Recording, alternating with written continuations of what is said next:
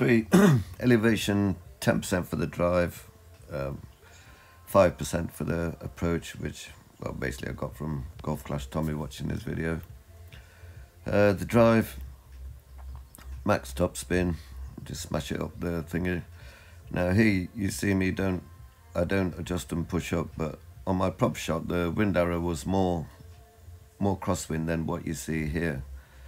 So if it is quite a bit more crosswind than what you see here then basically adjust and push up max top spin max OP basically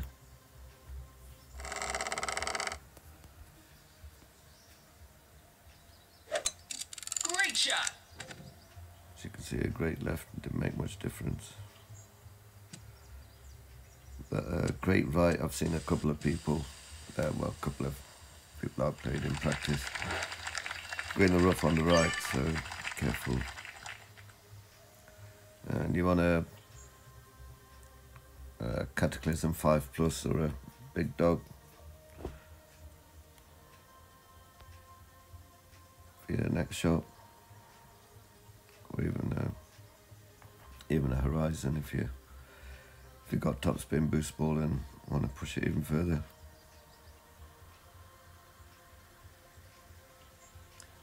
It does tend to go to the right hand side of the hole.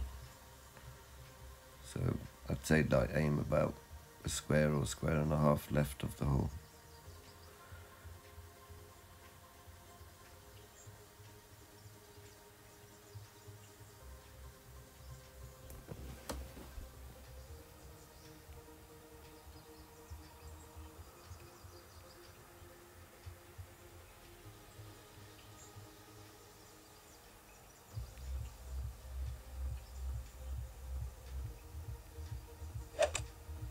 Perfect shot.